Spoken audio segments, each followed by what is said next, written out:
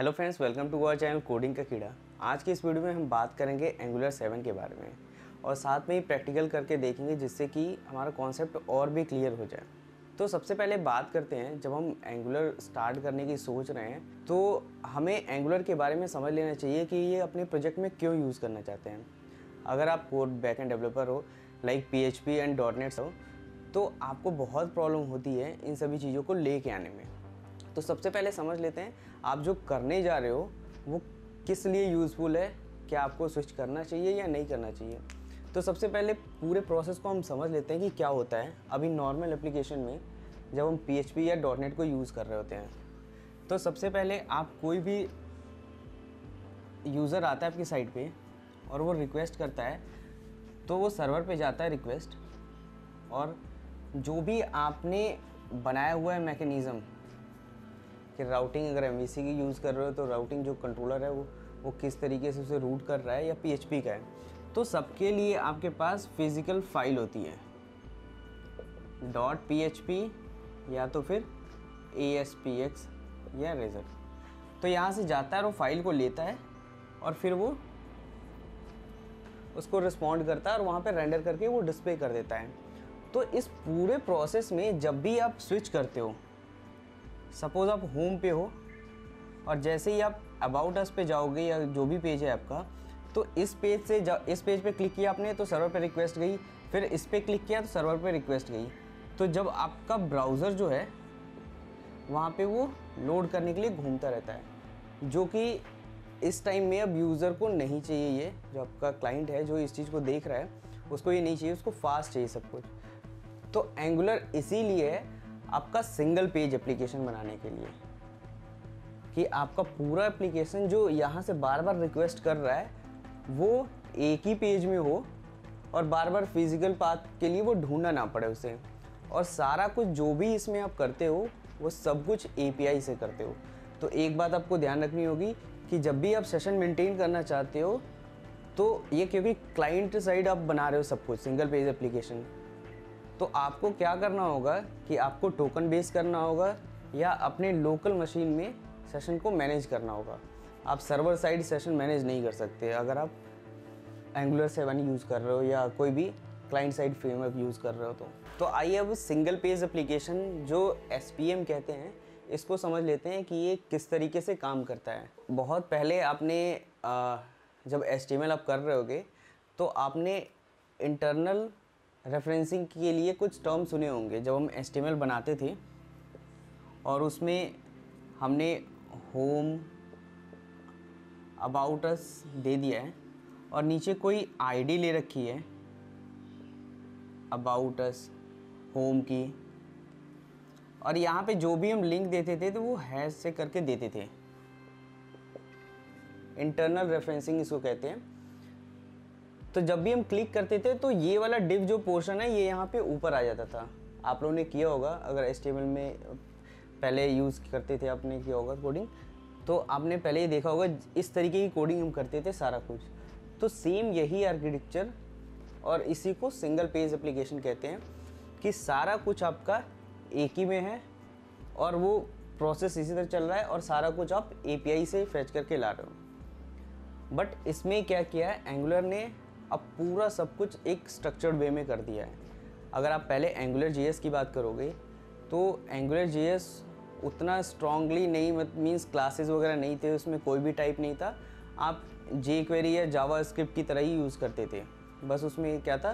Controller बना दिए गए थे ताकि एक छोटा सा स्ट्रक्चर तैयार किया गया था।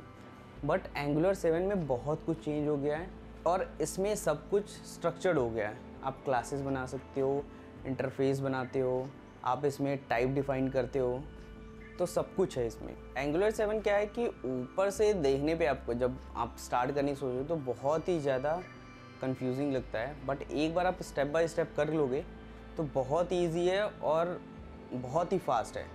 मीन्स आप एसपीए बना रहे हो सिंगल पेज एप्लीकेशन बना रहे हो, और बहुत ही फटाफट खुलता है। बहुत ही अच्छा लगेगा आपको। इंटरफेस भी काफ़ी अच्छा आप बना सकते हो उससे, क्योंकि एंगुलर का खुद उसने मटेरियल यूआई उसमें खुद इनबिल्ट होता है। तो आपको बूटस्ट्रैप के बहुत लंबे लंबे कोड भी नहीं लिखने हैं और आप उसके छोटे से कोड लिख के आप अच्छा यू आई वहाँ पर डिस्प्ले कर सकते हो। तो आइए अब देखते हैं एंगुलर सेवन में आप क्या क्या आपको मिलेगा और आप क्या क्या कर सकते हो। तो सबसे पहले ये एस पी ए है ही और फुली कंपोनेंट बेस है। आपको इसमें टाइप स्क्रिप्ट मिलती है। टाइप स्क्रिप्ट क्या है कि ये माइक्रोसॉफ्ट का है और माइक्रोसॉफ्ट और गूगल का कोलेब्रेशन है, क्योंकि पूरा जो कोर एंगुलर का बना हुआ एंगुलर सेवन का, वो पूरा ही टाइप स्क्रिप्ट पे बना हुआ है। नेक्स्ट है आपका C L I and N P M तो इसमें आपको बहुत ज़्यादा कंफ्यूज होने की ज़रूरत नहीं है। हम स्टेप बाय स्टेप सब कुछ करके देखेंगे। बस आपको ध्यान रखना है SPA जो सिंगल पेज एप्लीकेशन आपका है कंपोनेंट को आप अपने टर्म में मॉड्यूल कह सकते हो कि जैसे मुझे कोई लॉगिन का पेज बनाना है तो मैंने लॉगिन कंपोनेंट बना दिया। तो इसमें आपको तीन फ़ाइल तीन फाइलें मिलती हैं। एक तो एस दूसरा CSS की फ़ाइल और नेक्स्ट जो होता है आपका वो टाइप स्क्रिप्ट की फ़ाइल जिसमें मेन आप कोडिंग करते हो। जो टाइप स्क्रिप्ट की होती है, किस तरीके से किसी वैल्यू को सेट करना है क्रिएट करना है, और सारा कुछ। एस जो उसका टेम्पलेट डिफाइन करते हो, और CSS जो उसकी स्टाइलिंग तो ये सब कुछ आगे की वीडियो में हम करके देखेंगे। नेक्स्ट टाइप स्क्रिप्ट मैंने बता दिया है कि ये पूरा स्ट्रक्चर्ड वे में है, इसको यूज़ करते हैं। CLI जो है, जिससे ही सब कुछ आप इंस्टॉल करते हो। तो ये किस तरीके से इंस्टॉल करते हैं? बेसिकली ये क्या है कि कमांड होती है इसकी सीएलआई की कमांड होती है। जैसे कोई कंपोनेंट जनरेट करना है तो किस तरीके से करोगे? कोई एप्लीकेशन क्रिएट करनी है तो किस तरीके से करोगे? सर्विस इसमें कोई क्रिएट करना है तो कैसे? तो बेसिकली ये कमांड है। जैसे हम विंडोज़ के कमांड को देखते हैं तो सेम उसी तरह, उसको एक दो बार हम करने लगेंगे तो हम सीख जाएँगे। और एन जो है नोड पैकेज मैनेजर तो ये कमांड लाइन है जिससे कि हम रिसोर्स को गेट कर, अब यहाँ पे हम स्टेप बाय स्टेप करके देखेंगे कि किस तरीके से हमें एक अपनी एप्लीकेशन को क्रिएट करना है। जो मैं यहाँ बता रहा हूँ, इसको हम डिटेल में कोड में करके देखेंगे अभी, जिससे कि कॉन्सेप्ट और ज़्यादा क्लियर हो। तो सबसे पहले आपको एन इंस्टॉल करना होता है नोड पैकेज मैनेजर जिसका लिंक मैंने डिस्क्रिप्शन में दे रखा है। नेक्स्ट है, अब आपको CLI पे कमांड चलानी है। सी इंस्टॉल करना है। और एंगुलर प्रोजेक्ट क्रिएट करना है। नेक्स्ट क्या है? जब आप कर लोगे तो एन जी बिल्ड और फोर्थ है एन जी सर्व इसको हम देखेंगे किस तरीके से यूज़ करना है प्रैक्टिकल में। एन जी बिल्ड जो है, पूरे एप्लीकेशन को जब आप कुछ भी चेंज करते हो, उसको बिल्ड करने के लिए, और एन जी सर्व जो करते हो, ये आपको एक लोकल यूआरएल पे ये खोल के देता है। तो इसका डिफ़ॉल्ट जो है लोकल होस्ट 4200 होता है। तो आप लोकल होस्ट स्लैश फोर्टी करोगे तो आपने जो भी एप्लीकेशन बिल्ड करी है, वो आपको वहाँ पर डिस्प्ले हो जाएगी। तो चलिए प्रैक्टिकल करके देखते हैं। यहाँ पे स्टेप बाय स्टेप करके देखेंगे कि अगर हमें एंड्रॉइड की एप्लीकेशन बनानी है तो उसके लिए क्या क्या स्टेप्स फॉलो करने होते हैं, जैसे कि ज़्यादा कंफ्यूजिंग ना हो आपके लिए। तो सबसे पहले एन रिक्वायर्ड होता है। जो नोड पैकेज मैनेजर है तो उसके लिए हमें नोड जेस चाहिए होता है। तो सबसे पहले आप गूगल पे नोड जेस करोगे। इसका लिंक मैंने डिस्क्रिप्शन में दे रखा है तो वहाँ से भी आप ले सकते हो। तो यहाँ पे क्लिक किया मैंने। आपको विंडो के जो ये एल टी एस फॉर्म है, इसको लेना है। मैंने डाउनलोड कर रखा है। तो अब इसको हम इंस्टॉल करेंगे।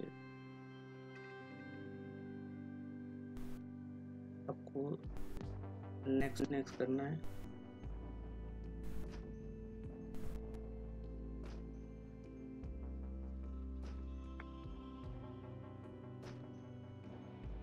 ये थोड़ा टाइम लेगा इंस्टॉलेशन में।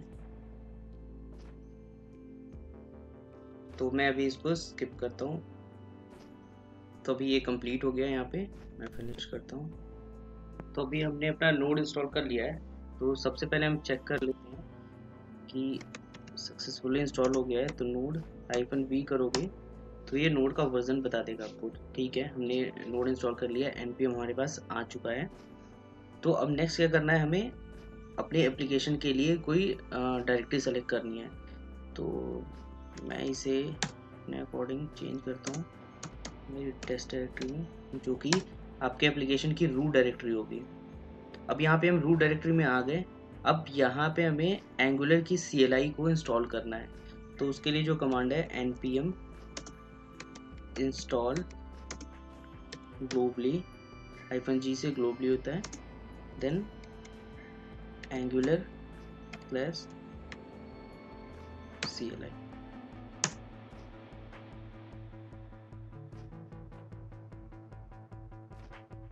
ये थोड़ा टाइम लेता है, क्योंकि सारे रिसोर्स वहाँ से सी एल को इंस्टॉल कर रहा है। तो इसको भी हम स्किप करते हैं।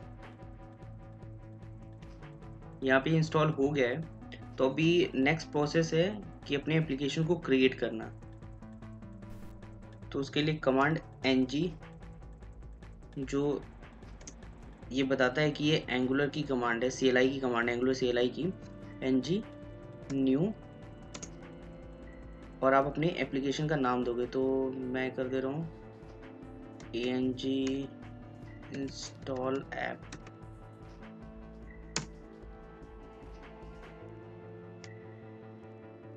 अब ये यहाँ पे पूछता है कि क्या आप राउटिंग चाहते हो?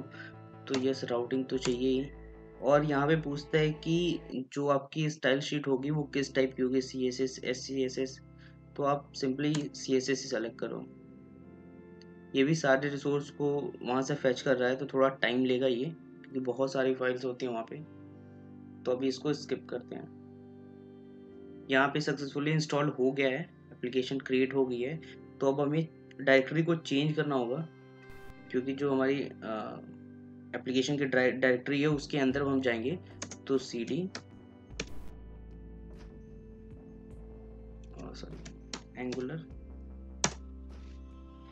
अब मैं अपने जो एप्लीकेशन है, उस डायरेक्टरी में आ गया हूँ। तो अभी मेरे को क्या करना है? एन जी सर्व करना है। क्योंकि बस हमें एक पोर्ट अभी इनेबल करना है, जो 4200 ये इनेबल करता है। तो हम डिफ़ॉल्ट वहाँ पे खोल के देखेंगे कि एप्लीकेशन चल रही है कि नहीं। तो आप एन जी सर्व करोगे। तो यहाँ पे पोर्ट ओपन कर रहा है अभी ये।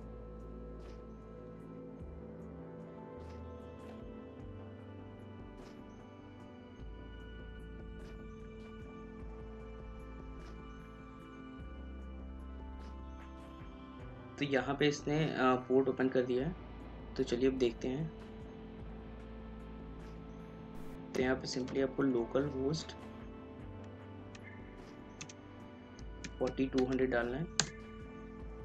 और आप देखोगे यहाँ पे एंगुलर की जो एप्लीकेशन है आपकी आ गई है।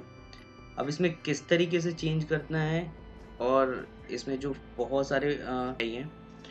तो नेक्स्ट वीडियो में हम इस पर ही बात करेंगे।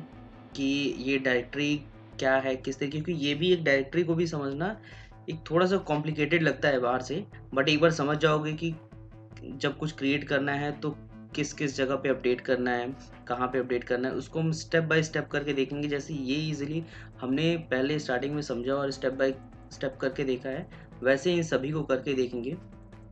होप आपको वीडियो पसंद आई होगी। अगर पसंद आई तो लाइक और सब्सक्राइब ज़रूर करें और कमेंट करके बताएँ कि अगर कुछ भी डाउट रहता है आपका तो आप कमेंट ज़रूर करें।